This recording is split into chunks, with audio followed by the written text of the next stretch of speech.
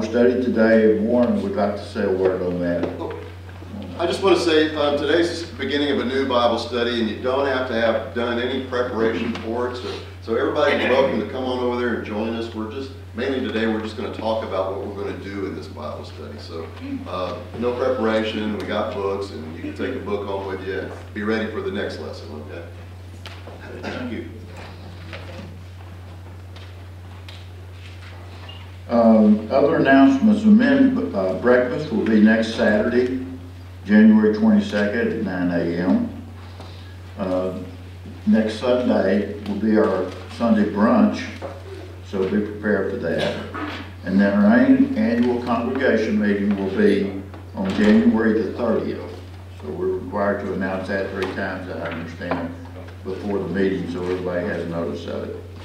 Uh, we have several people put on our prayer list this morning. Uh, Ray Corcoran's sister, Arisa, has been hospitalized with COVID. As you know, she- uh, we've had Arisa on our prayer list several months now, but she has, uh, several difficulties and she has been hospitalized with COVID now. Um, Rosie Simbera had been hospitalized with COVID, and now she's in TLC in um, Columbus, but now Melvin and Jane have came down with the COVID, and they're not with us today. Linda Otto has come down with COVID. I understand that there are probably twenty percent of the people walking around with COVID and don't even know it, so we need about twenty percent of our people to be a mask today, so if you can decide who has it and who doesn't, we'll. But other than that, it's just, uh, business as usual. Um, Do we have any other announcements? If not, we'll begin our worship service. Jim, can I say one other thing? Yeah. I feel like I owe everybody an explanation of what I'm doing up here. Um, The, uh, a couple of months ago, the, uh, the, the council and the senior pastor were meeting in a council meeting, and, and one of the, one of the topics that came up was, um, we should get somebody from the congregation to, to, to come up here and share their testimony. And when I heard that, I just immediately jumped up and raised, yeah, me, me, me, me, call on me. And, uh, they did. Okay. So, so here I am. Um, I, uh, I normally only wear a suit at, at funerals and memorial services these days, and, uh, and though we celebrate someone who's passing, the- for the rest of us left behind, it's kind of a sad occasion, and I thought, I definitely want to wear a suit on a happy, this is a- just a super joyous, happy occasion for. So I, that's why I'm in a suit, so you, probably none of y'all have ever seen me in a suit before. So, uh, so that's an explanation to that. And then I have one thing I want to add to our prayer list. Um, the, uh, the first responders and, and hospital staffs in this world are getting just overwhelmed. I mean, in fact, a lot of them are quitting because they just can't handle the stress and the load anymore. It's, it's two years of this stuff, you know, and they're- getting overwhelmed. So I'd, I'd ask you just every chance you get to, to pray for those first responders and hospital staffs because they, uh, they need our prayers desperately. So I just want to add that to the prayer list. Thanks. Thank you, Warren. Okay, let's all stand, begin our worship service by singing hymn six fifty-nine, we've a story to tell to the nations.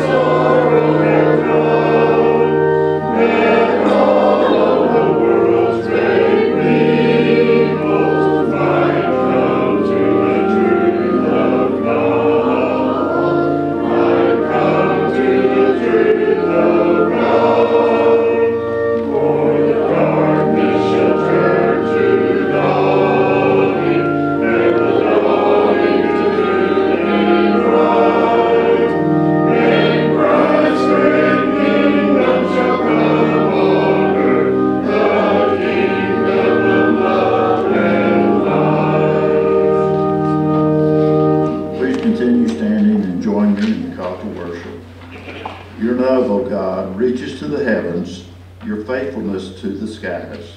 Your righteousness is like the mighty mountains, your justice like the great deep. Earth's children, high and low, take refuge in the shadow of your wings. We feast on the abundance of your house. You give us strength from your river of delights. For with you is the fountain of life. In your light we see life. Glory be to you, O God, our life and our life. You can be seated. Go ahead.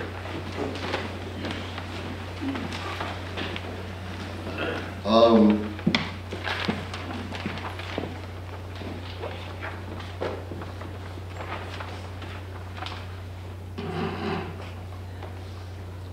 the, um, this is a great opportunity for me to be up here and speak and share my testimony with y'all. I've, I've, I've been a Christian only really a short time, not my entire life. So it's a, it's a wonderful opportunity to be up here. And uh, so I just pray that you'll have open hearts, open minds, uh, and, and open spirits to, to, to hear what I have to say. That uh, and that maybe from hearing what I have to say, if I just touch one person, maybe you'll feel called to come up here and say something yourself one of these days.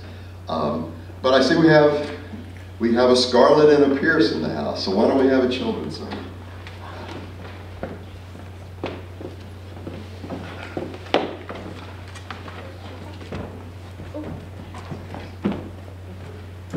Hey guys, um, can y'all hear me? Oh, yeah. Okay. Um, I used to uh, I used, I used to lead a, a, a Bible study at the elementary school that we lived in. Uh, We lived in Polster, Texas, and uh, I after school we would have a Bible study. They, it was a public school, but they let us come in and have a Bible study. That was really cool. And so we would do I would do I would tell a Bible story during during this this uh, class, and it was all you know it was all the way from oh second graders up to fifth graders, and. Uh, I would tell them at the end of the Bible story, you know, even if you don't remember the Bible story that much, if, when I ask you a question about the story, most of the time if you say Jesus, that'll be the right answer. Okay?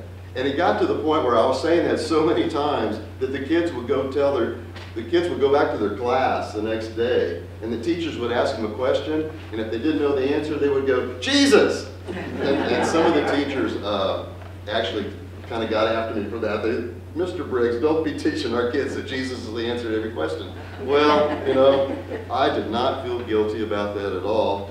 Um, I, I, and I just told him, you know, Jesus is the answer to a lot of really important problems we have in life. So I, I just thought, maybe you and I could practice this a little bit together. Okay, so who loves us more than anybody in the world?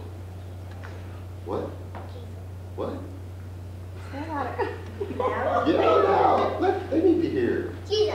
There you go, Pierce. All right. I knew I could count on Pierce. That's what we're doing. That's what we're, we're going to shout it out, okay? So, so, um, who should be our leader? Who should be our leader in this world? Pierce? Jesus. Yes, Jesus. Um, who, who, um, who is with us all the time? Jesus. Jesus. Yes, Jesus. Um. Who, who forgives us for everything we do wrong if we come to Him?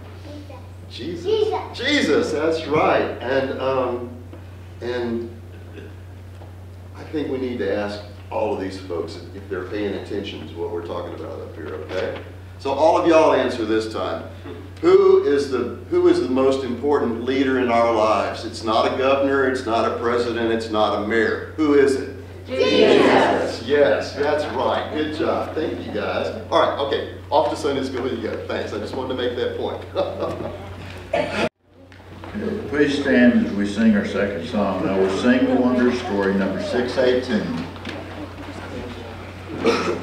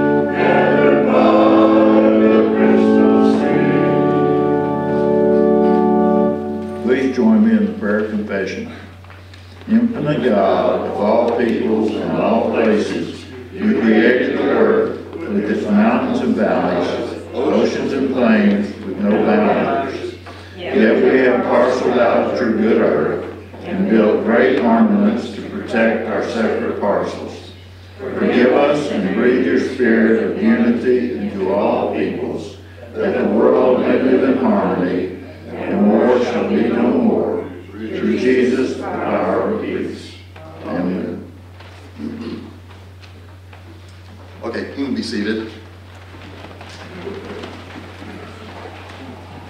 For our assurance of pardon, I chose something that I know you've heard before. It's from the Gospel of John, chapter 3, verses 16 and 17. For God so loved the world that he gave his one and only Son, that whoever believes in him shall not perish but have eternal life. For God did not send his Son into the world to condemn the world, but to save the world through him. That's the word. Thanks be to God. Amen. Okay, um, before we do the Apostles' Creed, uh, our most recent adult Bible study was about the Apostles' Creed. And I wanted to share a little bit of, of what we learned in that class for, for those who weren't able to come to that. Um, for hundreds of, hundreds of years, Jesus, the followers of Jesus relied on the word of his disciples, the disciples of his disciples, the disciples of their disciples, and on and on and on. And um, as Christianity grew and there was more people following Christ from different walks of life, from different backgrounds, different cultures, um, a lot of kind of questions came up. You know, what is a Christian? So they formulated this Apostles' Creed so that we would have a- fairly solid answer to, to what it is to be a Christian. Um, you know, some of the questions were, what exactly is the Trinity? The Creed answers that. Uh, was Mary really a virgin? Is Jesus, if Jesus is God, can he truly suffer on the cross? What was Jesus doing at the time between his death on the cross and Easter morning? Should we hold Christians who came before us in a special kind of reverence? The Creed answers all those questions and more. Um, because they're not, the, the answer is not really specifically in, in the Bible, in the scriptures. So we needed a little something. And, so, we, so we recite this creed to kind of re- help us remember what the answers to those questions are. Um, but there's still questions. You know, the creed didn't answer everything. We still, we still baptize differently. We still celebrate communion differently. We still even worship on different days. So, so God gave us all these denominations to handle all those different issues. And, and so, um, so there's still questions. We're questioning people. You know, we're not. We, we don't just. We just don't take things as they are. We, we, we our minds want to question things. Um, but if you're ever asked to be a Christian, I think really a simple answer is, if, if not, if you don't recite it to them, at least recite it in your mind, the Apostles' Creed. So if you'll join me, please, in reciting the Apostles' Creed. I believe in God the Father Almighty, maker of heaven and earth, and in Jesus Christ, his only Son, our Lord, who was conceived by the Holy Spirit, born of the Virgin Mary, suffered under Pontius Pilate, was crucified, dead, and buried. He descended into hell. The third day he rose again from the dead. He ascended into heaven, and sitteth on the right hand of God the Father Almighty. From thence he shall come to judge the quick and the dead. I believe in the Holy Spirit, the holy Christian church, the communion of saints, the forgiveness of sins, the resurrection of the body, and the life everlasting.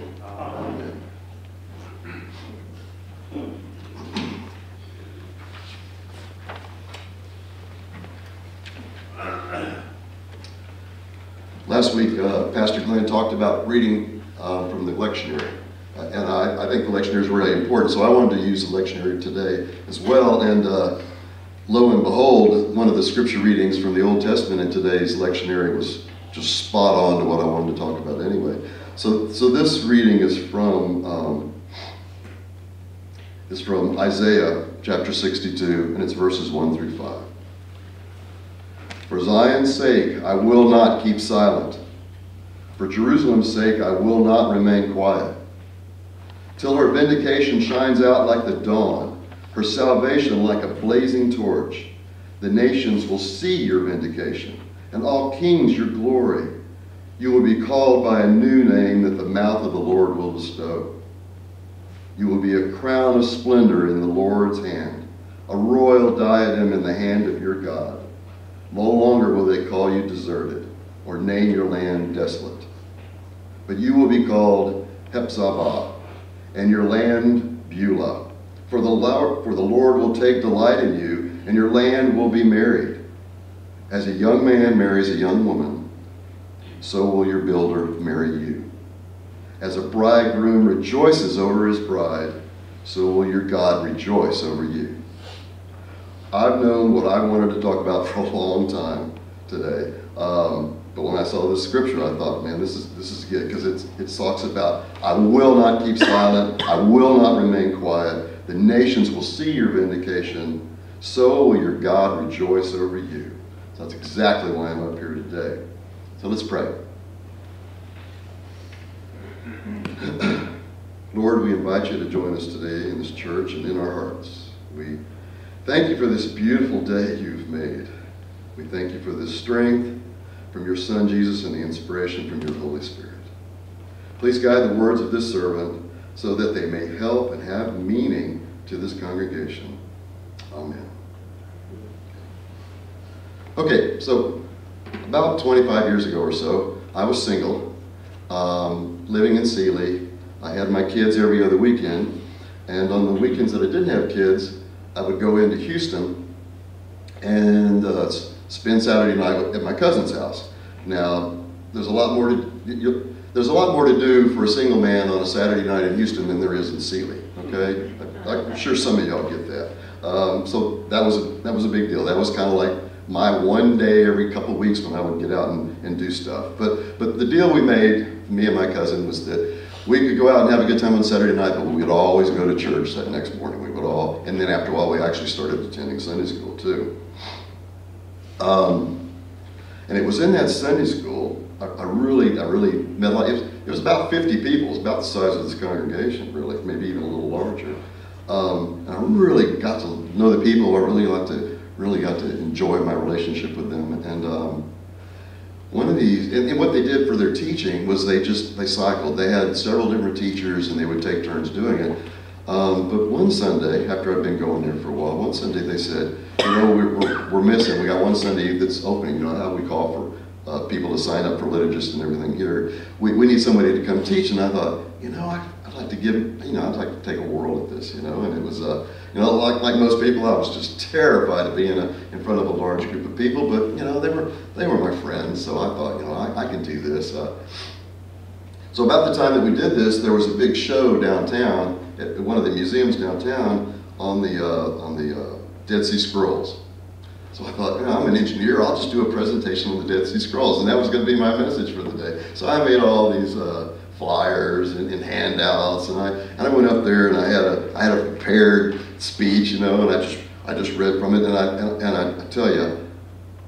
I read it so fast, I don't know anyone could have understood anything I said. I mean, it was should have been 20 minutes. It was over in about five. So I thought, oh, this is terrible. What have I done to these people? You know, oh, this is, this is awful. And so after the Sunday school class, we would all go out. It was it was in a big building, so it was a large classroom, and then there was a hallway. We'd all go out in the hallway and sort of have fellowship afterwards, similar to what we do after church over here in the fellowship hall. And, and so I went out there and I'm you know, expecting to apologize to everybody. And I'm so sorry about that lesson today. And uh, I think everybody in that class came up to me and grabbed my arm, shook my hand, or gave me a hug, or, or told me how much they liked it. And I thought, wow, you know, I was just floored. I couldn't believe, you know, this fellowship of Christ is so uplifting and encouraging. It, it's, it's beyond your imagination sometimes. And so I thought, I got to do this again sometime. Um, I have another scripture I want to read for you. This is from the Gospel of Matthew. It's chapter 28, verses 16 to 20. Now the eleven disciples went to Galilee, to the mountain to which Jesus had directed them. When they saw him, they worshipped him, but some doubted. And Jesus came and said to them, All authority in heaven and on earth has been given to me. Go therefore and make disciples of all nations, baptizing them in the name of the Father and of the Son and of the Holy Spirit. And teach them to obey everything that I have commanded you. And remember, I am with you always to the end of the age. That's uh, if you're afraid to come up here and speak, just read that before you come. Okay? We are all called to speak out in the name of Jesus. Jesus wasn't just talking to his disciples, he was talking to us. Um, so after, after answering that call to teach a Sunday school class, I thought, you know, I could do way better than this. If God expects me to do better, I expect me to do better. And so, um, where I, place, the place I worked at, um, they had a Toastmasters club that met once a week at lunchtime. And I thought, I'm gonna, I'm gonna join that. I'm gonna learn how to speak in front of people. I'm gonna learn how to do this, you know, because I, I, definitely want to share my experience with Christ with other people. And so um, I, I checked out the class, and this is a God moment right here. Not only did they, not only did the company sponsor the Toastmasters group by uh, giving them a, a room to meet in at lunchtime, they also provided free lunch. Okay, now I'm not someone who passes up a free lunch, okay? So uh, I was down for that. This was God speaking to me. Warren, go to this Toastmaster club. So, so I did. Um, and, and, and, what they told me, and it's I think the most important thing I learned in that class was uh, no, no matter where you're speaking, the people that are here to hear you speak want to hear you speak. They're glad to hear you speak.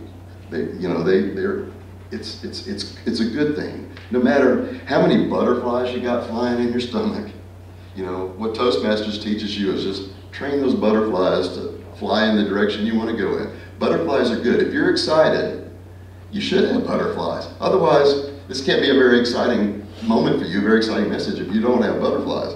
So after you kind of accept that and you just say, okay, butterflies, just fly me where you will, um, it's really just a small step to go. Um, I was going to say, the first speech you ever give in Toastmasters is a speech about yourself. You know yourself better than anybody, right? Better than any other subject, probably. I think it's just a really small step to go from speaking about yourself to speaking about yourself and in your relationship with God, about your relationship with Jesus Christ. So it's just a, just a little tiny step forward from, from talking about yourself, really. Um, the word gospel, does everybody know what the word gospel means? Good news, right? And who doesn't like sharing good news? I mean, come on. You, you, you just, when you hear good news, usually you're just bursting to go share it with somebody else. I, I think I'm right in that. Um, so I think when we know, when we, when we have the good news of Jesus Christ in our heart, in our minds, in our spirit, in our soul, we've got to go share it. We've Got to go share it. Um, it's a, I think an opportunity to share the gospel is going to be one of the most important and uplifting moments in your life to anyone who does it. Uh, this church is amazingly giving for its size. You know, the shoe boxes, the uh, tornadoes, hurricanes, you name it, you know, if we're asked, we rush out there to give. Uh, one thing I learned about the nativity scene out here this year, if, if, if you're not early, you're going to get left out. You're not going to get to do anything. We're, we're supposed to be here at a certain time. You got to be here 30 minutes earlier. It's going to all be done. You know, by the time, you know, I, I got here 10 minutes late one year, a couple years ago. It was, everything's finished. There wasn't anything to do. It was pretty much pull the parking lot, say hi to everybody, pull out again. Uh, you know, th this church loves to give, loves to give. But I, I think there's something we could kind of add to that. We could add our voices to that. Okay? Um, and, and, there's a lot of opportunities. There's teaching the children's Sunday school class, um, doing, a, doing a devotional at the men's breakfast, or, or, or speaking up at a, at a, during a Bible study. Um, you could talk to a neighbor about Jesus. You could talk to a coworker about Jesus. You could volunteer to be a liturgist. I, I mean, we, we have a voice. We need to use it, you know? Um, I know, speaking of liturgists, I know Stuart just loves a liturgist. I mean, it, I mean, he lives for the day he gets to be liturgist, you know. So, uh, you know, I, I know, I know, I know he's he's just antsy that week. Kathy has to just settle him down all week long. Um, but uh, another way you can raise your voice, and I'm looking at my my dear friends over here when I'm about to say this, is I've sat out in this congregation. There's some amazing voices out here waiting to be heard. You can join this choir, okay? And, and, and, and Stuart, I recommend you keep the liturgist gig, okay? But, but the rest of y'all can sing in this choir, okay? Um, it's, uh, it's, it, it's, it's an opportunity to make a joyful noise, literally, to the Lord. And, and I guarantee you, the Lord loves every word that comes out of our mouths in His praise. There- There's no doubt about it. There's no doubt about it. I mean, can I hear an amen on that? Amen to that. That's, it's, Jesus wants to hear from us, whether it's prayer, whether it's hymns, whether it's your testimony up here in front of the church. So I just want to say, you can do this. You can do this. Um, you've seen me do it, so obviously anyone can do it. so I invite you to come up here and speak. Say something in your Bible study. Say something to one of your neighbors. Invite a neighbor to church. Come sing in the choir, please. We got plenty of empty chairs. You know, and COVID just keeps knocking us out, knocking us out. Um, speaking of COVID, I, this is a whole other subject. This weekend I heard that, um, you know how y'all, y'all know that BC is before Christ. That, that's a common measurement of time, right? A lot of people, and I heard this a lot of the, the tournament I played in yesterday, a lot of people are using BC to mean before COVID now. Because COVID has just changed this world so much that it's going to be it's going to be a milestone in the history of the human race uh, at the rate we're going. So, um, so I, I, I think that all those folks, I, I guess just to speak to the camera now, is uh, all of you folks out there with COVID, we're, we miss you. We, we're waiting, looking forward to you to come back and uh, um, be, be ready to speak when you do come back. This, would you please join me in prayer? Heavenly Father, thank you so much for this time to be up here, this church, and this fellowship, the fellowship of this congregation. We ask today that you push us out of the door and give us strength to go out into the world to continue the work of building your kingdom. Let's join together for the Lord's Prayer. Our Father, who art in heaven, hallowed be thy name. Thy kingdom come, thy will be done, on earth as it is in heaven. Give us this day our daily bread, and forgive us our trespasses, as we forgive those who trespass against us. And lead us not into temptation, but deliver us from evil. For thine is the kingdom, and the power, and the glory, forever and ever. Amen. One last thing that somebody told me when they were advising me on how to speak in front of a church or congregation is that was, uh, you know, the shorter it is, the better. You know, people will appreciate that. So, so that's what I had to say.